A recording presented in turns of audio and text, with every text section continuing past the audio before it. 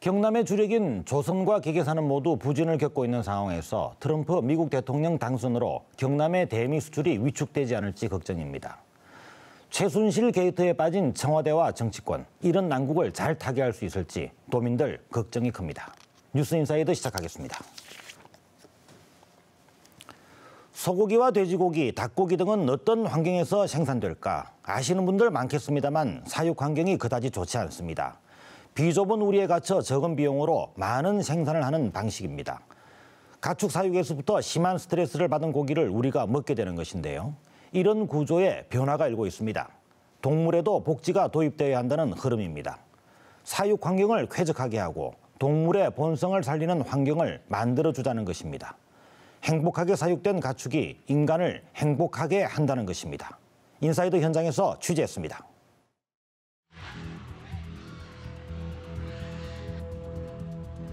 몸을 돌리기도 어려운 좁은 우리에서 일생을 마쳐야 하는 어미 돼지.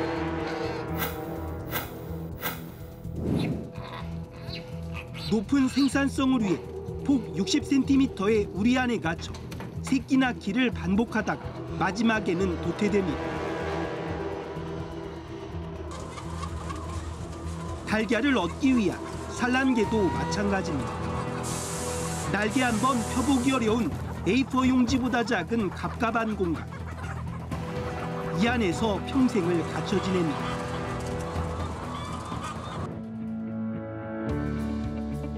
최근 본래의 습성대로 살 수 있도록 가축도 쾌적한 환경에서 키워야 한다는 동물 복지가 새롭게 주목받고 있습니다.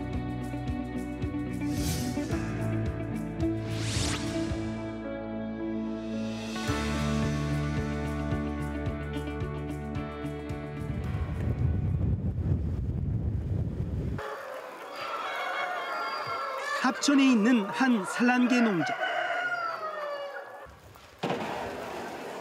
사육장 문이 열리자 닭들이 기다렸다는 듯 밖으로 나옵니다. 넓은 땅과 따사로운 햇살, 상쾌한 공기를 마음껏 누립니다. 흙을 헤쳐 만든 구덩이 속에 가만히 앉아 일광욕을 즐기고 온몸에 흙을 묻히기도 합니다. 깃털 속에 묻어 있는 기생충 등 이물질을 덜어내 몸을 청결하게 하는 행동입니다. 깃털 속에 어떤 이물질이라든지 벌레라든지 이런 게 언제라도 이렇게 서식할 수 있기 때문에 이제 이거를 사실은 어, 토욕이라는 과정을 통해서 사람 같으면 일종의 샤워가 되겠죠. 다리를 몸 밖으로 쭉 뻗어 쉬기도 합니다. 닭이라는 거는 부리를 갖고 있다라는 거는 땅을 쪼스라고 있는 거고요. 발톱이 날카로운 것은 흙을 해치라 흙을 헤쳐서 먹거리를 찾으라고 발톱이 달려 있는 겁니다. 이곳의 닭은 횟대라 불리는 긴 봉을 자유롭게 오르내립니다. 밤에는 대부분 횟대 위에서 잠을 자는 습성이 있습니다. 닭이 가지고 있는 본능 중에 자기 머리 위에서 뭔가가 움직이는 것을 굉장히 제일 싫어합니다. 아, 제일 싫어할 뿐더러 이제 잠을 잘 때는 자기가 자기한테 이렇게 올라가서 굉장히 안정적으로 이렇게 잘 수 있는 공간이 필요한데요. 닭들이 스트레스를 적게 받다 보니 AI, 고병원성 조류 인플루엔자와 같은 질병에 강한 면역력을 보입니다. 이 농가는 백화점 등 직거래처를 확보해 안정적인 수익을 올리고 있습니다. 자유 방목까지 하는 동물복지 농장의 계란과 일반 계란을 비교해봤습니다. 가까울수록 실내에서만 생활해 색이 비슷한 일반 계란과 달리 동물복지 농장 계란은 색깔이 다양한 편입니다. 우리 닭들은 나가서 어, 자연 햇볕을 얼마나 많이 쐬느냐에 따라서 계란의 색깔도 다양해지고 그다음에 밖에 나가서 제, 공하는 사료 외에 다양한 그 먹거리들을 어떻게 섭취하느냐에 따라서 노란자의 색깔도 굉장히 다양해지는 거고. 일반 양계장의 모습은 어떨까? 배터리 케이지라 불리는 좁은 공간에서 닭이 힘겹게 살고 있습니다. 땅을 쪼거나 높은 곳에 올라가길 좋아하는 닭의 본성은 무시됩니다. 스트레스를 받은 닭이 다른 닭들을 쪼아 죽이기도 하기 때문에 농장에서는 대부분 닭부리를 자르기도 합니다. 동물로서의 그런 기본적인 욕구라 자유 이런 부분이 충족이 되어야지만 건강한 상태로 살다가 도축이 되어야지만 사람도 마찬가지로 건강한 어, 단백질을 공급받지 않겠냐. 양돈장의 돼지도 사정은 마찬가지입니다. 스토리라 불리는 폭 60cm의 비좁은 공간에 어미 돼지들이 갇혀 있습니다. 땅을 파기 좋아하고 호기심 많은 돼지지만 좁은 공간에서 할 수 있는 활동은 없습니다. 비좁은 공간에서 자란 돼지들은 극심한 스트레스로 다른 돼지의 꼬리를 물어 뜯기도 합니다. 이 때문에 양돈장에서는 새끼 돼지일 때 꼬리와 이빨을 자르기도 합니다. 생산성만을 고려한 밀집 사육은 전염병에도 취약합니다. 지난 2010년 발생한 구제역에 145일 동안 전국에서 돼지 331만 마리가 살처분됐습니다. 이에 따른 보상금 등으로 정부 예산 2조 7천억 원이 소요됐습니다. 2014년과 2015년 발생한 AI에는 닭이 대량으로 매몰 처분됐습니다. 이때 전국에서 죽어간 닭은 무려 1266만 마리나 됩니다.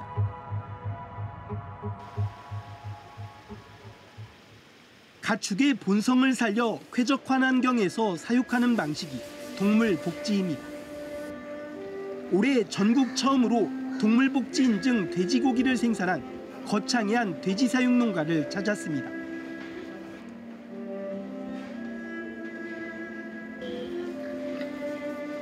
돼지 요리마다 잔잔한 음악이 흐릅니다. 일반 농장에서는 좁은 스토레, 갇혀 지낼 형편인 임신한 돼지, 왕겨가 깔린 별도의 임신사에서 새끼 낳을 준비를 합니다.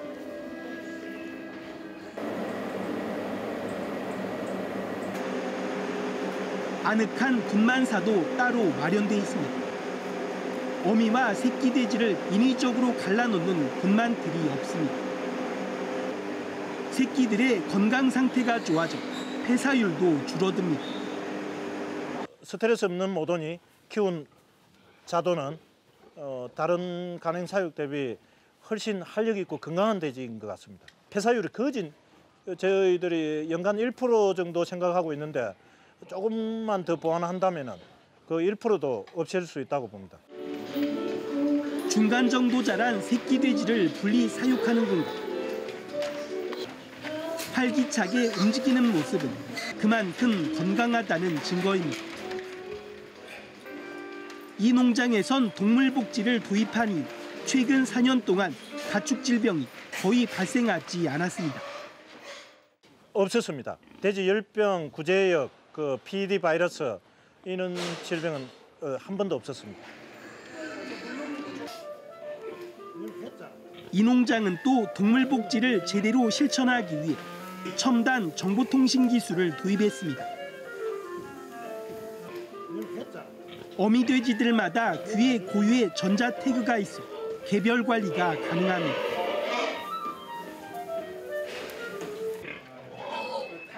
임신 이후 체중 조절이 필요한 어미 돼지는 자동 급이기를 통해 꼭 필요한 양만 사료를 먹이고 있습니다. 정해진 사료가 다 먹고 나면은 아무리 접근을 해도 사료는 나오지 않습니다. 그 남은 먹, 어, 먹을 수 있는 양이 남아 있을 때만 어, 기계가 사료를 주고 있습니다. 또 비육돈 출하 선별기를 통해 높은 등급이 나오는 적정 무게의 돼지만 선별합니다. 112kg을 기준으로 몸무게가 초과할 경우에만 한쪽 방향으로 문이 열리게 자동으로 분리시키는 겁니다. 자동적으로 사료 먹으러 는 행동을 이용해서 분류하는 기계입니다. 네, 200도 중에서 2kg 이상 되는 개체만 내일 아침 출하를 위해서 분류가 됩니다. 동물복지 사육 환경을 만든 이후 악취도 크게 줄었습니다. 돼지 분뇨를 산소와 미생물에 분해하는 시설을 갖추 악취가 없고 잔여물은 퇴비 등으로 재활용하고 있습니다. 이거는 미생물 덩어리예요. 유럽에서는 이미 지난 2012년부터 산란계 농장에서 비좁은 닭장인 배터리 케이지 사육을 금지했습니다. 또 돼지 사육에서도 2013년부터 좁은 사육 트립, 스톨 사용을 금지했습니다.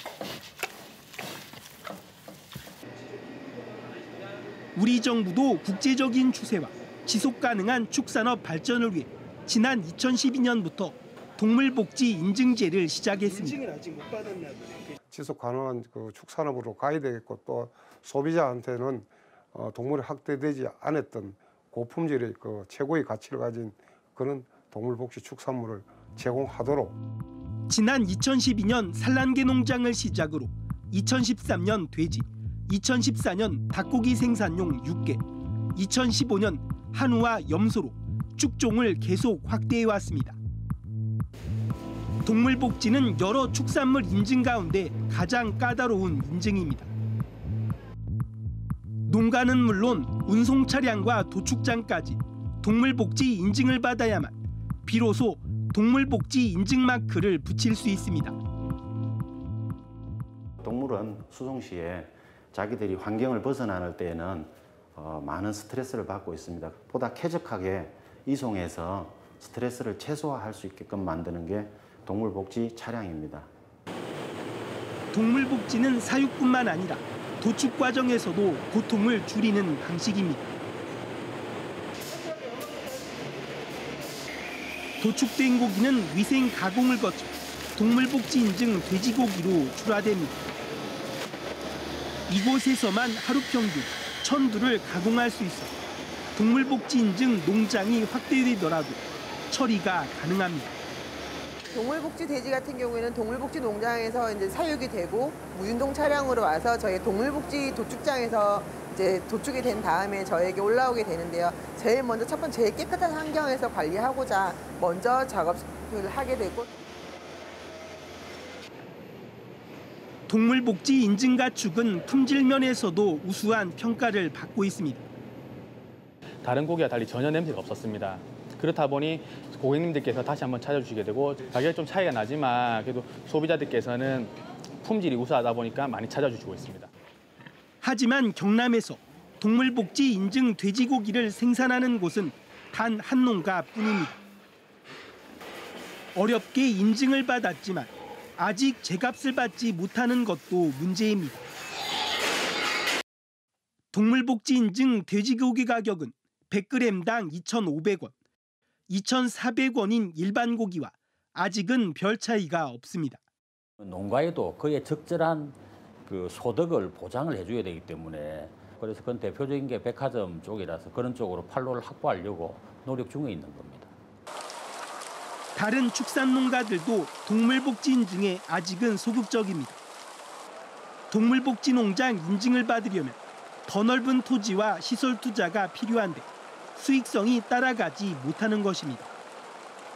시장성이 안뭐내 수익 우선인데 시장성이 안 돼가지고 당장 소비에 따보면 굉장히 많이 들어가고 동물복지를 딱 들어가면 절반을 줄여야 돼. 왜 그러냐면은 수당 사육 면적을 짓기 위해서는 그만큼 때문에 동물복지 확대를 위해서 정부의 지속적인 지원과 함께 고품질 축산물이 제값을 받도록 해야 합니다. 큰 뭐 돈을 벌- 벌게 해주지는 않더라도 손해는 안 볼 정도의 어떤 지원책이라든지 아니면은 어, 제도적으로 그런 동물 복지를 해서 생산되는 가축이 어, 좀더 비싼 가격에 어, 유통 판매될 수 있게끔 동물복지 축산물 확대의 가장 중요한 것 소비자들의 관심입니다. 한 대형마트에선 동물복지 계란의 월 평균 판매량이 지난해에 비해 300%나 급증했습니다. 한 상품만 판매되는데 이제 선천적으로 많이 늘어서 현재는 한 다섯 개에서 여섯 개 정도 운영을 하고 있습니다. 작년보다 지금 현재 10월까지 한 300% 정도 이상 어, 신장하고 있는 그런 추세고 고객들도 많이 찾고 있습니다.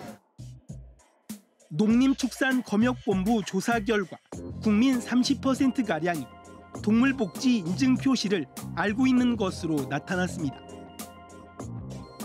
또 동물복지 인증을 받은 축산물을 구입하겠다는 응답자가 2012년에 비해 30.2%포인트 증가한 66.6%로 나타났습니다.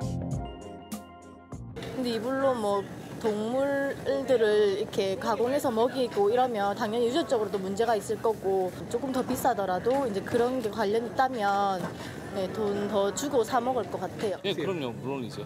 네. 그런 거는 이제 건강을 생각하면은 좀 비싸더라도 이제 가족 건강을 생각해서는 그럴 수도 있다고 생각합니다. 동물 복지는 동물이 살아있는 동안만이라도 불필요한 고통과 스트레스를 받지 않도록 하는 인도적인 책임입니다. 또한 EU FTA 협상에서 동물복지가 의제로 제시되는 등 시장 접근 측면에서도 확대 필요성이 커지고 있습니다.